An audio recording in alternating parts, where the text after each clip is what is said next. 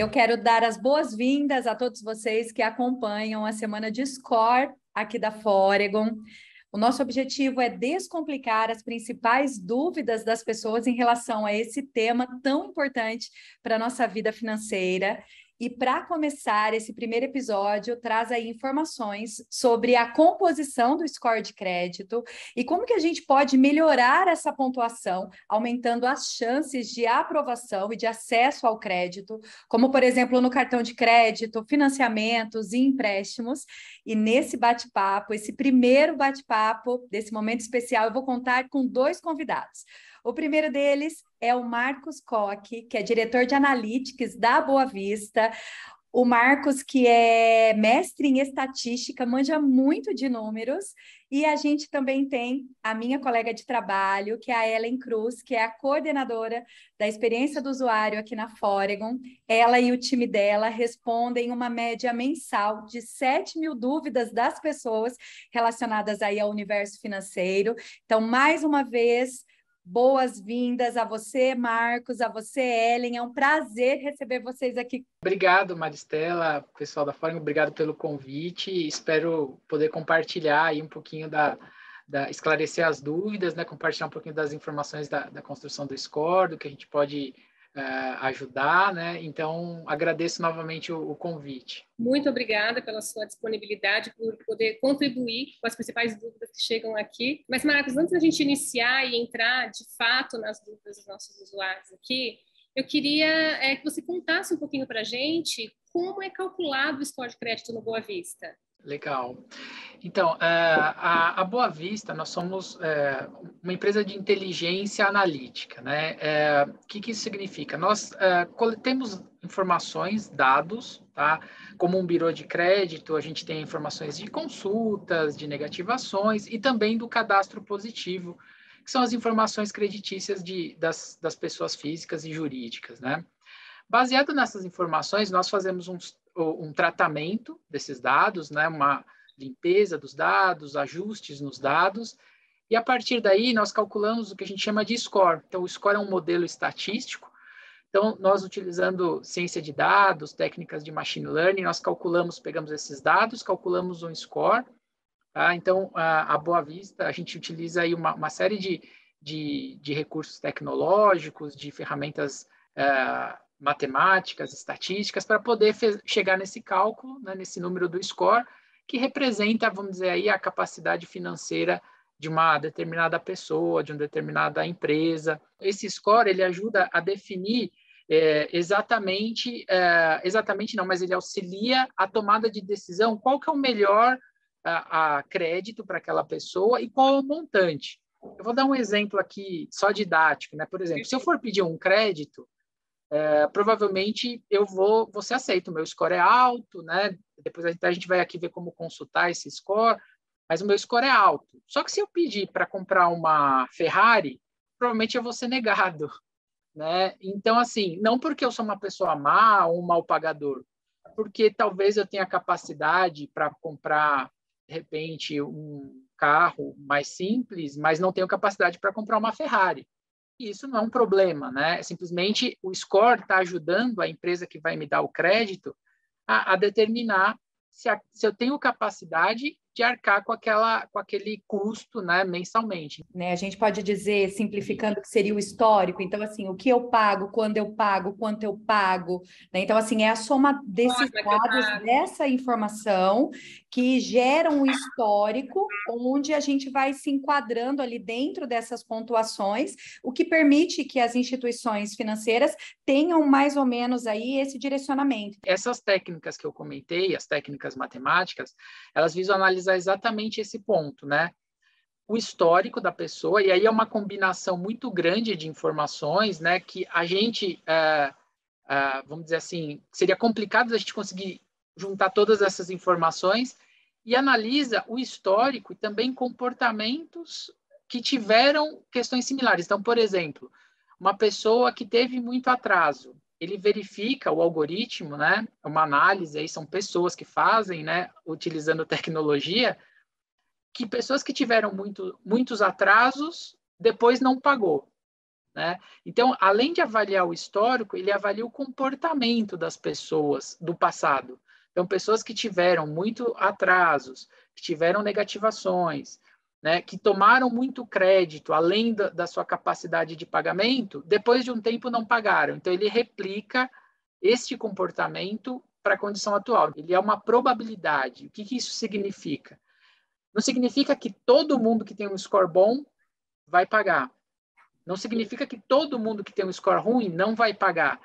É, simplificando aqui, todo mundo que tem um score muito bom, de 100 pessoas, 98 vão pagar. Mas vai ter duas, eu estou chutando aqui os números, tá? Uhum. Duas que não vão pagar. Uma pessoa que tem um score muito ruim, ela está num grupo de pessoas que de 100 pessoas, cinco não vão pagar. Ou vai, 10 não vão pagar. Mas as outras 90 vão pagar. Então, o score é importante, ele não é um, um decisor, é, vamos dizer assim, cravado, né? Que, olha, a pessoa tem um score ruim, né? determinístico. Não é, né?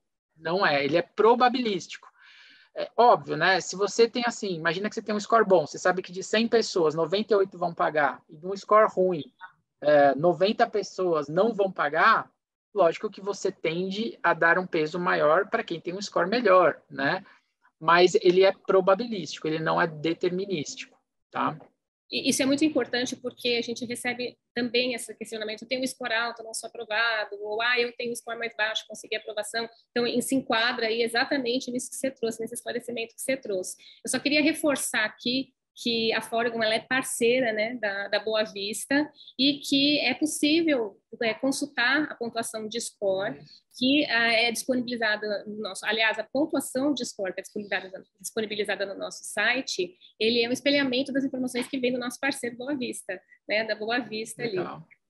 Exatamente, é, as pessoas podem consultar, existe o, o, nosso próprio site, pode consultar, existe aplicativo também onde você pode consultar, inclusive a gente tem dicas de, de como melhorar o score, então é, é importante você ter uma visibilidade né, do quanto, o que, que você está pagando, o que, que não tem, então é, é uma das formas aí de, de poder consultar o seu score. Aqui na Foregon, nos primeiros quatro meses desse ano, né, a gente teve aí 360 mil consultas de score de crédito. Então, assim, a gente já traz esses números atualizados, né, para partilhar.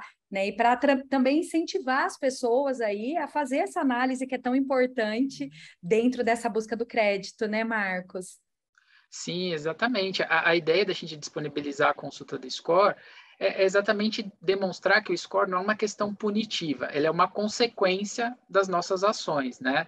É, e o que a gente quer fazer é muito ajudar né, o consumidor, né, principalmente aqui, acho que o, o grande público, né, mas também empresas, a poder falar, olha, você hoje tem esse score, o que, que você pode fazer para poder melhorar? Então, com essa visibilidade, fica mais fácil né, das pessoas poderem saber, olha, essa ação vai melhorar o score, essa vai melhorar, então esse é o, é o intuito, né? Marcos, eu queria aproveitar aqui, a gente está falando da, da Boa Vista, né? E a gente sabe que existem diferentes birôs e que as pontuações podem ser diferentes ali, né? Então, perguntam muito para a gente aqui é, por que essa diferença e se existe, se existe um, uma pontuação de score que é considerada verdadeira. Né? Então, na verdade, assim, o, existem diferentes birôs que fazem, uh, como eu falei, aqueles process, o processo de, de tratamento dos dados, as ferramentas estatísticas. A diferença se dá muito por esse tratamento, né? Pelo tratamento e pelas informações que tem disponível. Então, por exemplo, se você tem um birô que tem menos informações ou que, que faz um tratamento, de repente, diferente do da Boa Vista, né? É, você vai chegar em pontuações diferentes, tá?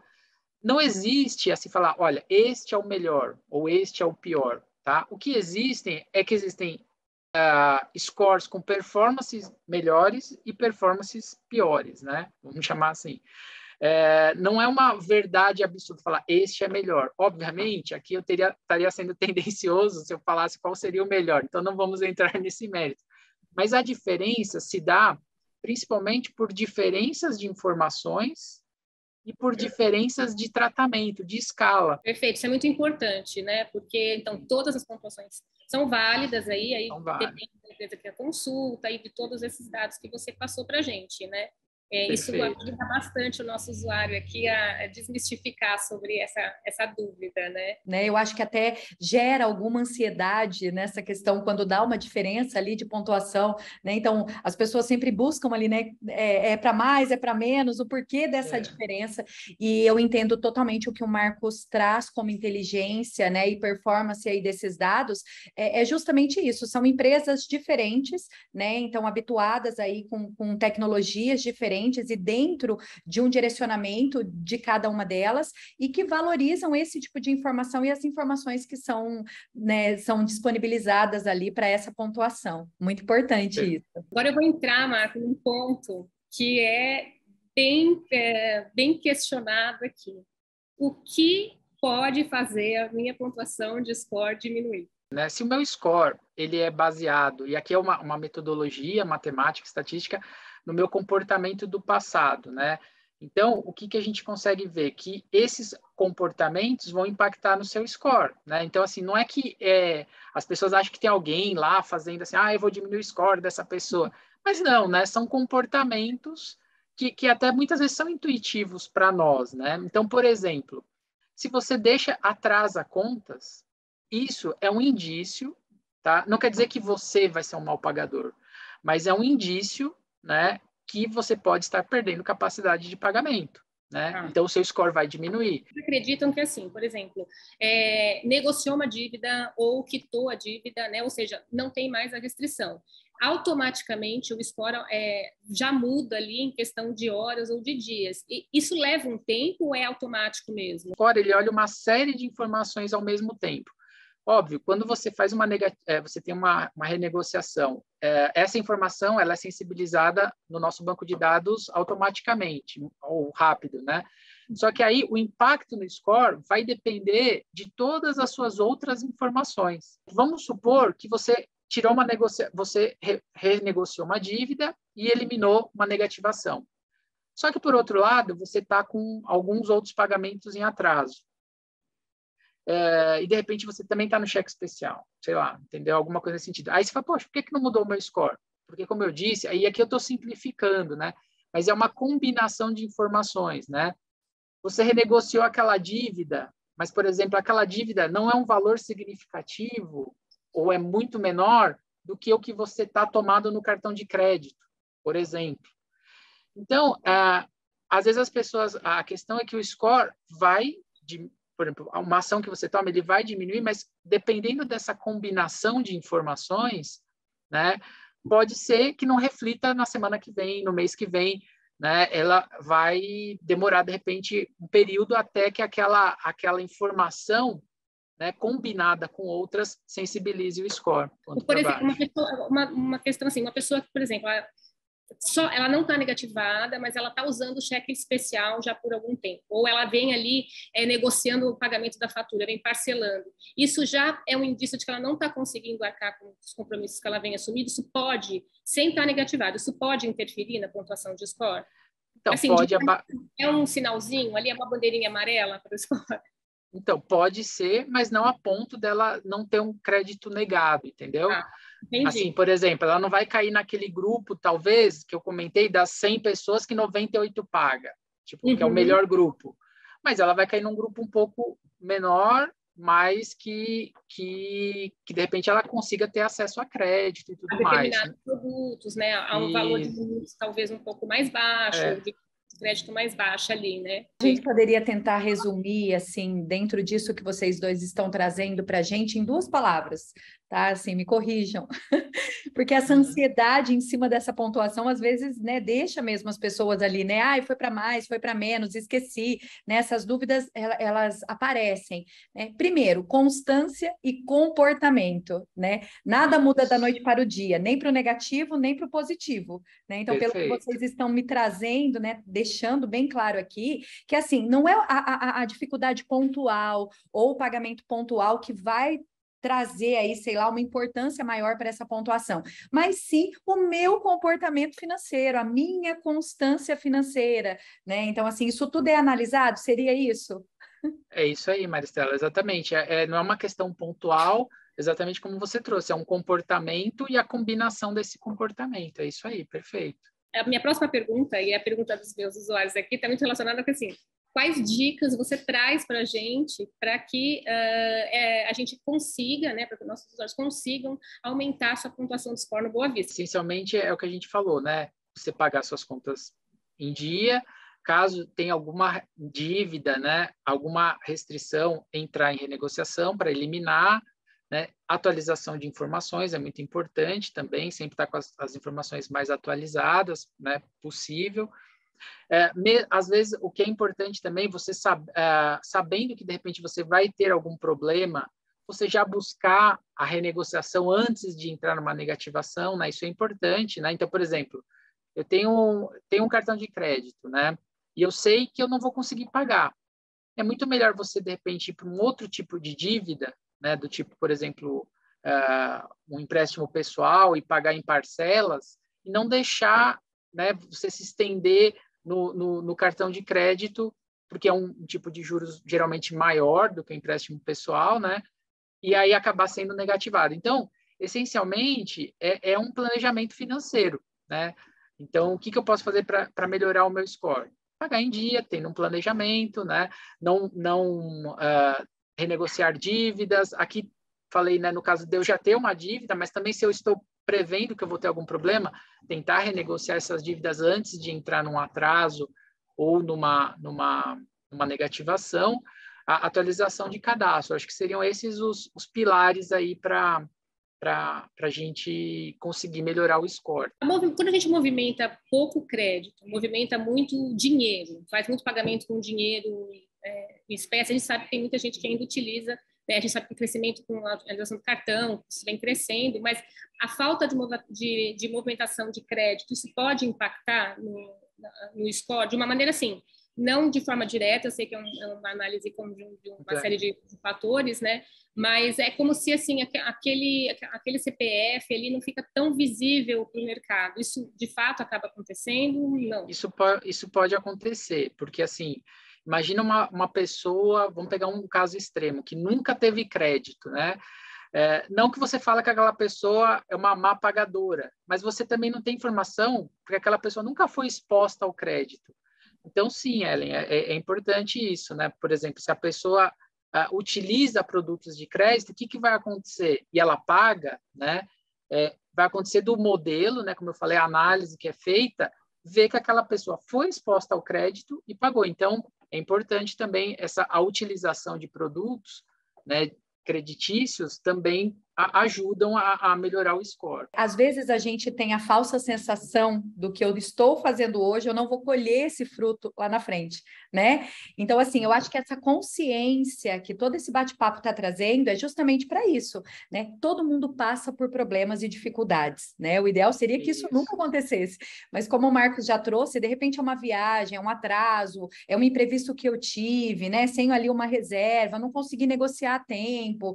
Então, é importante que as pessoas pessoas elas tenham essa consciência de que tudo que eu estou fazendo, né, isso será mapeado, isso tem um rastro, né, isso tem um caminho que vai levando aí as instituições financeiras a fazer essas pontuações na hora de, de, de, de fornecer ali essa aprovação, esse acesso ao crédito. Isso, e, e Maristela, o importante, isso começou muito forte, principalmente no Brasil, é, em 2019, com a inclusão do cadastro positivo, né? Porque até antes de 2019 já existia o cadastro positivo, mas era para pessoas que optavam por entrar, né? Até contextualizando, o cadastro positivo são as informações creditícias de todo o sistema financeiro, né? É, e a partir de 2019, o cadastro positivo ele passou a ser o seguinte: eu, todos os brasileiros estão dentro do cadastro positivo. Quem optar pode sair do cadastro positivo. E o que, que o cadastro positivo traz de informação para essa análise? Exatamente esse ponto, porque antigamente, como que eram feitas as análises? Baseada apenas na parte ruim que a gente chama, né? Que é a, parte de negativação, de não pagamento, né? Com o cadastro positivo, a gente trouxe para o score a informação dos bons pagadores, né? Ou das pessoas que de repente tiveram uma negativação, mas por outro lado, tem uma vida creditícia, um histórico, que está tudo ok, né? Está tudo funcionando. Então, com o cadastro positivo, trouxe muito mais essa, esse ponto que você comentou agora, né, de, de tipo, olha, negativação, é, você já conhece, deve conhecer pessoas que tiveram negativação porque esqueceram de pagar ou porque esses dias mesmo um amigo comentou que pediu um cartão há um tempo atrás, não sabia que tinha pedido e foi negativado por uma taxa do cartão, né?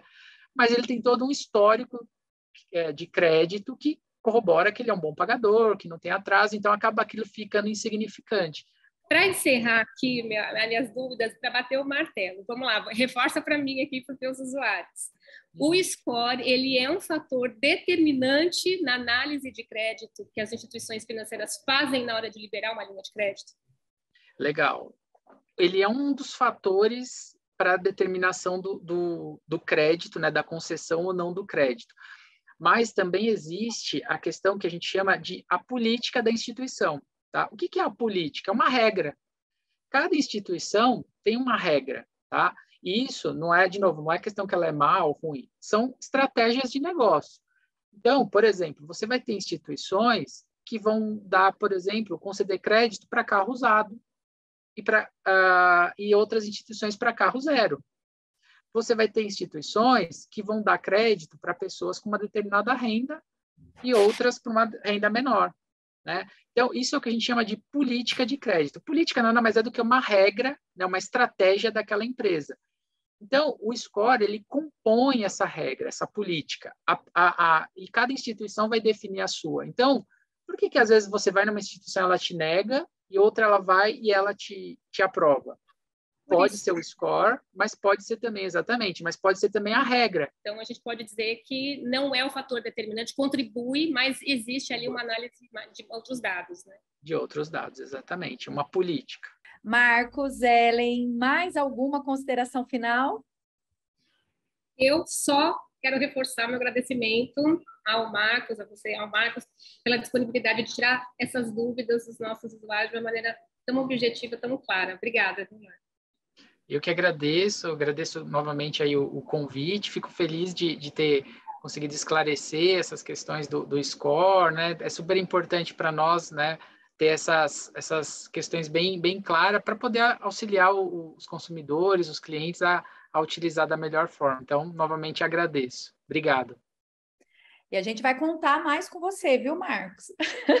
Ah, você já pode, deixou a porta aberta. Isso, a gente já, já vai. À disposição. Aí para fazer dessas, dessas dúvidas, né, Ellen? Assim, esse esclarecimento de dúvidas, uma constância mesmo, porque a gente recebe aqui na Fóriga um volume muito grande, né, de dúvidas referentes aí ao score. Então, é bom saber que a gente pode contar com você. Eu gostei muito do, do, do bate-papo. Achei que foi uma linguagem muito simples e eu tenho certeza que todo mundo de casa entendeu e vai ficar mais atento aí na pontuação do score. Aí. Eu tenho certeza que isso vai para gerar muita confiança no usuário, porque a gente está falando com quem sabe, né? Com quem faz a computação. Então, é, nada é, melhor como eu disse lá no, Como eu disse lá no começo, ele entende, né? De dado e de número ali é a especialidade dele. A gente tenta, a gente tenta. Obrigado, gente. Valeu, obrigado mesmo. Obrigada a vocês dois mais uma vez. E para você que está acompanhando aí esse primeiro episódio, já ativa o sininho que a gente tem muito mais para trazer durante a semana do Score. Até lá!